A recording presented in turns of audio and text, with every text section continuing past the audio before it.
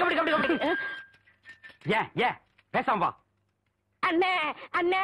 என்றா நொனோ நொனோன்ட்டு பேசாம வாடா. இல்லண்ணே பெரிய பெரிய வீட்டுகள்ல கேட்ட என்ன? திறந்து வச்சிருந்தா உன்ன மாதிரி இருக்குதுங்க உள்ள போய் ஏதாவது கவிட்டு ஓடிட்டா? அதுக்காக தான் பாரு வீட்டுக்காரர் உட்கார்ந்திருக்காங்க. கொஞ்சம் மரியாதையா வா. என்ன மரியாதையா. ஏன் படுத்துக்கியா. ஒழுங்கா வா மானம் கெட்டு போயிரும் சேலக்காரரே நகத்துல புள்ளி விழுந்தா துணி கிடைக்கும்னு முத்தமா சொல்லுச்சு. அதனால இந்த சேலையை எடுத்துக்கிறேன். விலைய பார்த்து சொல்லுங்க. ஏனுங்க முன்னே?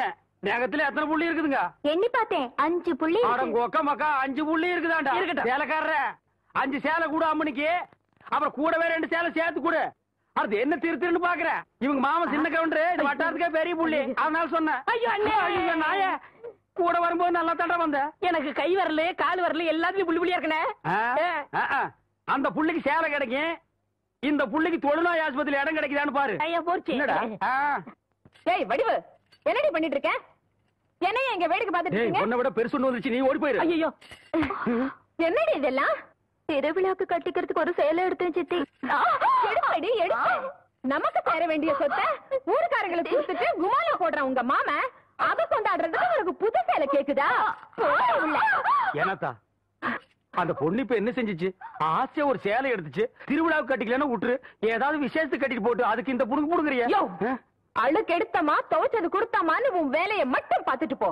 அத விட்டுட்டு மத்த விஷயத்துல தலையிட்ட அப்புறம் நடக்கிறதே வேற. வேட்டி நாலு சரட்டு ரெண்டு தவசி துண்டு ரெண்டு. அண்டடாயிரங்கடா அதான் அதை நான் போட்டுருக்கணுங்க. ஒண்ணுதான் கேட்டா? தவசி அண்டடாயிரு ஆ, ஆ, இந்த வெள்ளாவில் வந்த கணக்கெல்லாம் சரி பாரு ஆ, எத்த கணக்குல ஒண்ணு தப்பி போய் தனியா புலம்பிட்டு இருக்கு. அத கணக்குல இருந்து விட்டுரு. என்றா சொல்ற? காராறு சிறகு ரெண்டு கடுகு போல கண்ணு ரெண்டு ஈயடா இடிச்ச வாயான்னு ஈக்கெல்லாம் கதை சொல்லுவியே. இப்போ உன் வாயில அத இடிச்சு போயிருக்கு. என்றா பெரிய பேச்செல்லாம் பேசிக்கிட்டு. கிட்டுச்சன்னா கண்ணாமணி திரும்பி போகும். ஏன்டா பல்லு ரெண்டு எடுப்பா இருக்கிறது மட்டும் ஆளாளுக்கு பேசுவீங்களா? என்னது ரெண்டு பல்லா? ஆ, எல்லா பல்லும் தான் மாம்பட்டி மாதிரி நீட்டிட்டு நிக்குது. சரதா இருக்கிக்கிட்டு விஷயத்த சொல்லி காட்சி போடுவேன். இந்த பல்லுல கடிக்கிறது ஒண்ணுதான் கடப்பாரில கிணறு வெட்டுறது ஒண்ணுதான். என்றா அங்க முணுமுணுப்பு? உன் பேத்தி கதையை சொல்ல வந்தனாத்தா ஏண்டா அவளுக்கு என்ன? காவடி போட்டுட்டு இருந்த புள்ள சேலை கட்டிக்கு ஆசைப்பட்டு சேலைக்காரனை கூப்பிட்டு இருக்கு சக்கரை கவுண்டர் வெப்பாட்டி இல்ல. அவ வெத்தலைய கொட்டலாவுல போட்டு கொட்டுற மாதிரி உன் பேத்திய கொட்டு கொட்டு கொட்டி விட்டான் அவ பச்சை புள்ள முகம் எப்படி வாடி போச்சு தெரியுமாத்தா நீ என்னடான்னா இங்க அண்டடாயிரம் கணக்கு போடுற டண்டடா அடடா அடடான்னு ஏண்டா எவ்வளவு ஒரு சீமச்சிருக்கி வந்து என்ற பேத்திய கொட்டு கொட்டுன்னு கொட்டது பாத்துக்கிட்டு சும்மா வர வந்த? அங்கேயே நாலு வார்த்தை கேட்டு போட்டுதானுங்க வந்தேன் இது வாரு ஊருக்குள்ள எத்தனை சீல துணிக்கார சுத்தினாலும் சரி அத்தனை பேர்த்து இங்கே அனுப்பி வையே. என்ற பேத்துக்கு எப்பேற்பட்ட சீலை வாங்கி கொடுக்கணும்னு எனக்கு தெரியும்டா.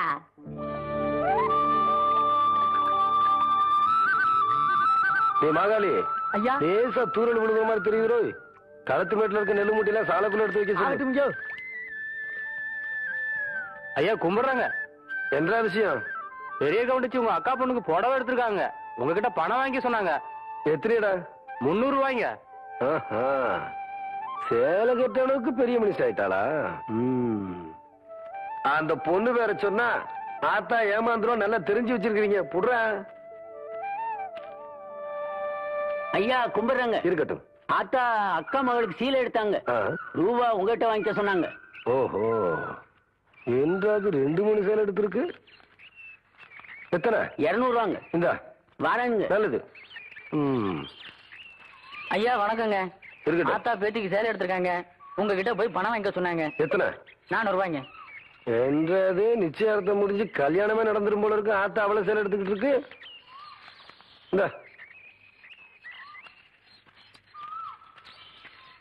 ஐயா கும்பிடுறானுங்க. இருக்கட்டும். ஆத்தா சீல் எடுத்துச்சா? ஆமாங்க. பேத்திக்கு எடுத்துச்சா? ஆமாங்க. பணத்தை எங்கிட்ட வாங்கி சொல்லிச்சா? ஆமாங்க. எத்தனை? முந்நூறு ரூபாய்ங்க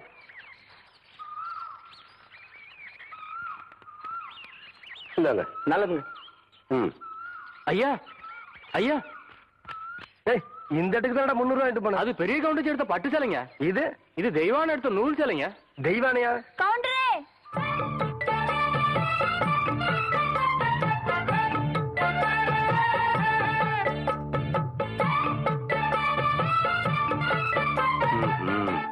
என்ன அப்படி பாக்குறீங்க?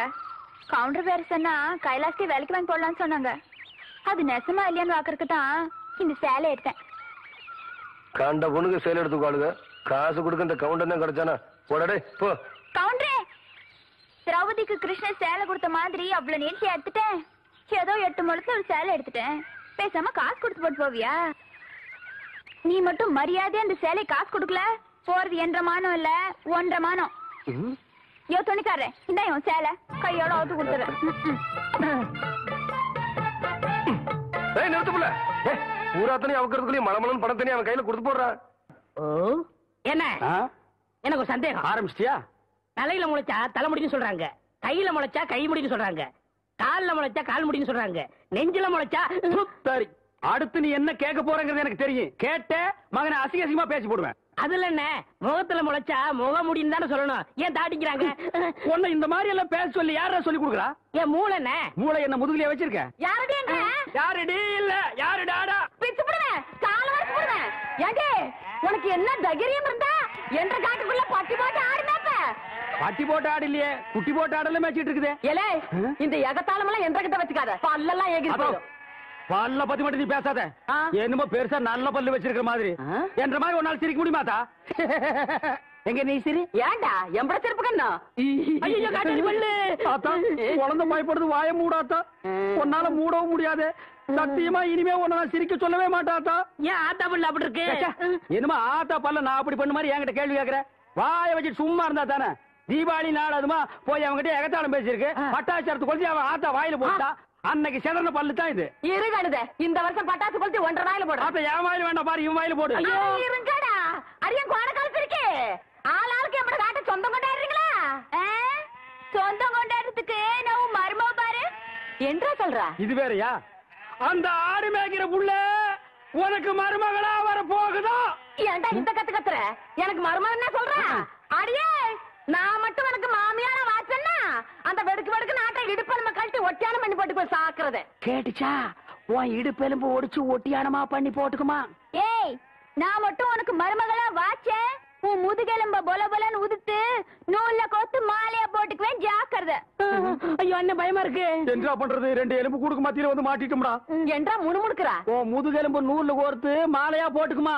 அப்படியா சொல்ற. அடியே கண்ணா பின்னான்னு அலையிற கண்ணாமணி ரெண்டையும் தோண்டி கையில கொடுத்து போடுவேன். ஆமா. எம்பட கண்ணு நீ நோண்டுறியா இல்ல உம்பட கண்ணு நான் நோண்டு நானு? நடக்கிறது நடந்த கடைசியில பாத்துக்கலாம்.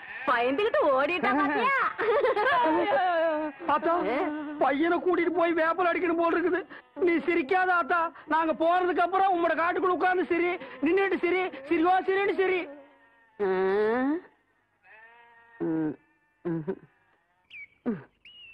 நேத்து பயிர் வச்ச வயக்காட்டுல இவ்வளவு தண்ணி இருக்கு. அழுகி போயிருச்சுன்னா என்னடா பண்றது? யார் விட்டாங்கன்னு தெரியலீங்க. என்னடா தெரியல? ஈச்சங்குச்சி மாதிரி கையும் காலையும் வளர்த்து வச்சிருக்கே தவிர மூளையை வளர்த்துக்கலையே. தோட்டத்துல யாருமே இல்லைங்கிற வாய்க்கால இவ்வளவு தண்ணி போகுது? பம்பு செட்ல யாரா இருக்கா தெரியலீங்கய்யா. ஏய், போடே மடக்கிறோம் போடே சீக்கிரமா போய் மறைய போ தண்ணி ஆகுதுய்யா. நிறுத்துறா போட.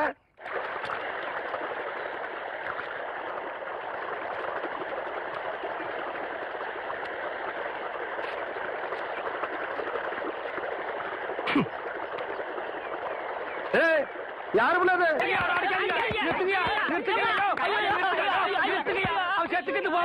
குழந்தை பையனை போட்டு எருமை அடிக்கிற மாதிரி அடிக்கிறீங்களே. அப்படி என்னையா தப்பு பண்ண? குழந்தை மாதிரியா கேள்வி கேட்டாங்க.